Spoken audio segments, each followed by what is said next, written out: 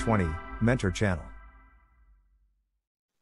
Hi, and welcome to this briefing on how to manage smoke and fumes with odors in flight. The aim of this briefing is first to recall to you the Airbus philosophy applying to all smoke and fumes related events, and then I will explain to you why our smoke procedure is the reference to deal with all smoke and fumes related events, including fume with odors in flight. And then we will see what are our main recommendations and also the materials that you have in hands in order to efficiently deal with all these events while remaining in the side of the safety at all times during the flight. So let's start with some background. But first of all, it's very important that we all have in mind the meaning of the wording that we use in our procedure. So we'll review these definitions. First, definition of the smoke. So this is the product of burning material that are made visible by the presence of small particles. This is the ICAO definitions. Then a fume, according to the ICAO, is a gaseous compound which are not visible. This means that in case of fumes, you will not see anything, but you may, depending on the source, you may have an odors or not. And finally, the odor is a particular smell, especially an unpleasant one, but not necessarily toxic. This means that the odors may either come from the fume or from the smoke. And in our smoke procedure, when we mention smoke and fumes, we also include the case of fume with odors.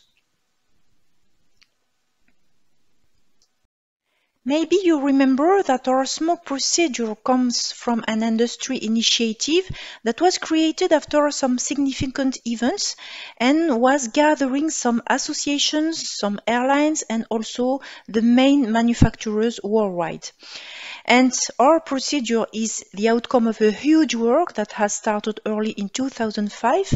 And the aim of this initiative was to provide the flight crew and the cabin crew with some procedure that will allow managing safely all the in-flight fire, smoke and fumes, and also to agree on a common template. So this is what we have done. One of the main outcome was to merge the three separate smoke procedure that we have in the past into a single one, the smoke fume avionic smoke procedure. And this was in line with one of the main feedback that we got from you operators and also what we have learned from the event that we had in the past, that there was some uncertainty brought by the fact that we had three entry points and also loss of time in choosing the right entry point. So it was better to have one single entry to manage any smoke or fume events with also some key actions, which are the immediate steps, in order to be able to ensure the safety of the flight at a very early step of the event.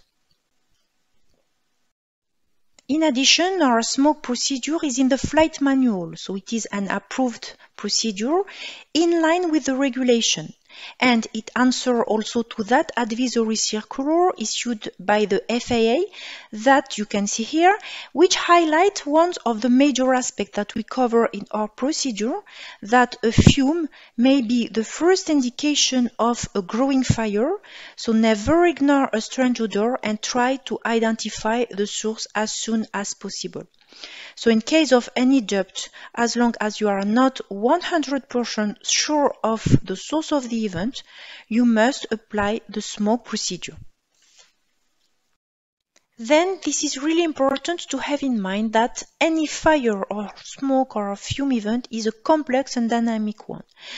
Complex first because at the time where the event starts, most of the time you don't know what is going on, but at the same time you have to quickly analyze the situation and take appropriate decision to recover the management of the situation. And also dynamic even because sometimes the situation may escalate quite quickly if some key actions are not taken early enough. That's the reason why, in case of any smoke-related event, you will have to face these three challenges. The time, the communication, and also the identification of the source. And we have designed our smoke procedure so that it tackles these three main challenges. Concerning the time first, this statement that you can read here come from the advisory circular of the FAA and are the conclusion of some fire tests that were conducted by the regulatory authorities at the time of the industry working group and they are showing that really the time is key. That's why we request in our smoke procedure to be land ASAP minded. Then, because the situation can uh, escalate quite quickly, the communication between the cockpit and the cabin is really essential at the earliest stage of the events. That's the reason why all our cockpit, but also cabin crew uh, smoke related procedure include a step about the communication. Finally, concerning the identification of the source, some sources of smoke and fumes are easy to locate because they are either located in accessible areas or monitored by smoke detectors so they trigger some ECAM alert or local warnings. But for other sources that you can see here on the second group, such as avionic smoke or air conditioning smoke, they are more difficult to locate and to be confirmed at 100% because they are not uh, necessarily monitored by smoke detectors. So for these events, we provide relevant troubleshooting procedures. So once you have taken the decision to enter the smoke procedure, you will first anticipate the diversion, meaning to prepare the strategy, and then you will apply the immediate steps of the procedures. These steps are quick, simple, reversible. They are very efficient also in stopping any recirculation of smoke and fumes. And finally, they enable the flight crew protection and the communication very early in the event. Just a few words about the diversion to remind you that as we explain it on the FCTM, entering the smoke procedure does not mean doing the diversion. The idea is really to be in a mindset of a diversion, meaning preparing the strategy, contacting the ATC during the time the pilot monitoring will perform the immediate steps, and being prepared to initiate it if the situation dictates. And then, according to uh, the FCTM schematic, if you can answer yes to the two questions that you can see, then you will end the procedure and resume normal flight. Whereas if your answer is at least no to one of these two questions, you will have to initiate the diversion and uh, proceed with the smoke procedure. Few words for the cabin side to remind you that in the cabin we have two-thirds of the events that are easy to locate because they are monitored by some smoke detectors or because they occur in some areas that are accessible, such as, for example, the EFE boxes or the VCC or the lavatories. But we have still one-third of the smoke and fume events that remains difficult to locate, typically events occurring be behind the ceiling panel or behind the sidewall panel. So in line with the FAA advisory circular that we just have seen, the cabin crew procedure share the same philosophy as the flight crew procedures, meaning that the cabin crew will manage any smoke or fume event as a potential fire until proven otherwise. So for the cabin area that are not equipped with detectors, the cabin crew must use all their senses, the hearing, the touch, the vision, the smell, and also all the passengers' input uh, to be able to confirm any smoke or fume sources. And we look at some uh, abnormal indications such as noises or abnormal warm surfaces and also some unusual odors. And these inputs will help the flight crew in their decision making. So now that we have in mind the philosophy of the smoke procedure, let's review the specific case of fume with odors in flight. The main sources of fume with odors are either related to engine or APU oil leak or also to air conditioning contaminations by the packs or by the bleeds but there are also many other reasons, such as uh, the example uh, that you can see. So in addition to all the challenges that we just have seen, the whole crew must be very well prepared to be able to detect and to identify the odor so that the right decision is then taken by the flight crew. They will be able to assess all of the following. What is the probable source? Is it a threat or not? If it is a threat, should I enter the smoke procedure? And then if I enter the smoke procedure, should I initiate a diversion? In the aircraft, the possible sources of odors are quite huge, so most of the time it's difficult to accurately look at them. In addition, it's very tricky to establish a link between a given odor, the reason behind, and the associated risk. Then our perception is subjective and depends on our own way to name the odors. Finally, an odor can depend on our position on the aircraft, depending if we are in the cockpit or, for example, the aft cabin, and also depend on the flight condition, humidity, and temperature on board. So for sure, our nose is not a certified device. However, our added value as a human being is really key to efficiently analyze the situation. So first you have to remember that for all smoke events, time is critical because there is a risk of hidden fire or smoke. And then also remember that it's really important to share the information and the assumption between the flight crew and the cabin crew. So the information must be accurate enough and uh, the same language must be used uh, to uh, describe the situation. So because of all that, we recommend at Airbus that the flight crew and the cabin crew are trained for that.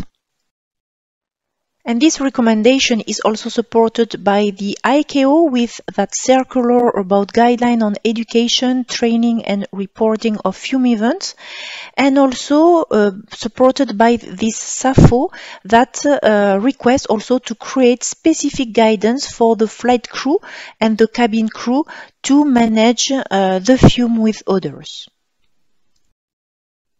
So based on that, let's review what are the materials and our main recommendations. So you will find all the operational recommendations and techniques in the FCOM, QRH, FCTM, CCOM and Getting to Grips with Cabin Safety brochure. Especially in the FCTM, you will now find the list of most probable sources of odors. Then when we have identified some specific recurrent issues such as APU oil odors, we have provided some alternative means to mitigate also the potential of odors. This is the case for the preliminary cockpit preparations and also for the parking phase. Finally, we have released that ISI article on how to manage smoke and fume with odors in flight. This article is available on the Airbus World Portal and also on our WIN platform. So based on these materials and in line with the ICAO and the regulation, we encourage you to create your own internal tailored guidance, meaning a guidance that is adapted to uh, what you are facing and to your own operational context. What kind of odor are you facing depending on where and how you operate? For example, do you use de-icing? Do you operate in hot and humid condition? Do you perform cold soak? And this guidance will be able to fit your internal policy about the odors management. And this internal briefing can include first a training of the flight crew and the cabin crew. This is important that this training is common. It can be based on the Airbus list of odors, defining a common way to name the odors, having sample whenever possible to train on the odor recognition, and based on that to define dedicated cabin crew actions. And then something that is really helpful is a mapping of the odors depending on the various occurrences.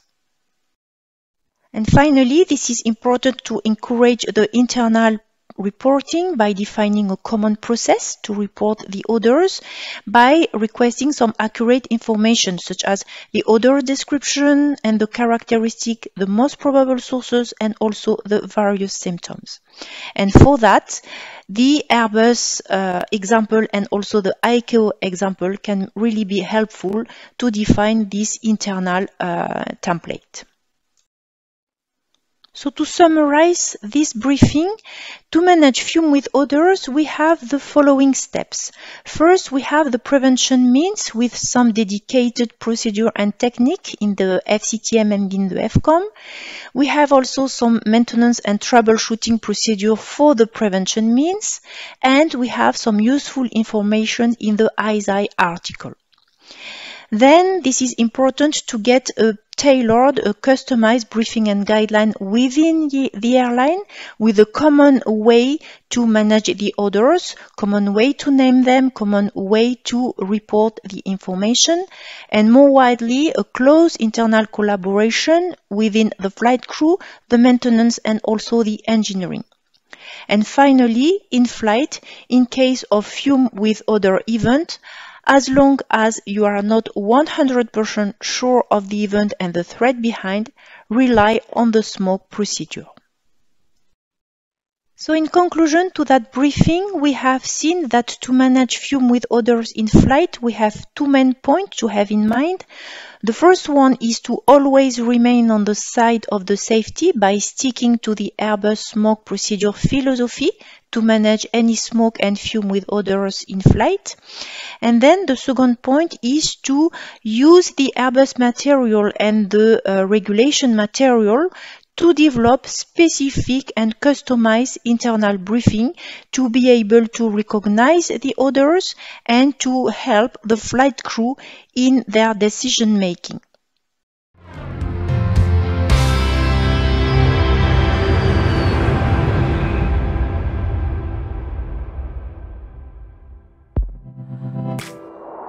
A320 Mentor Channel.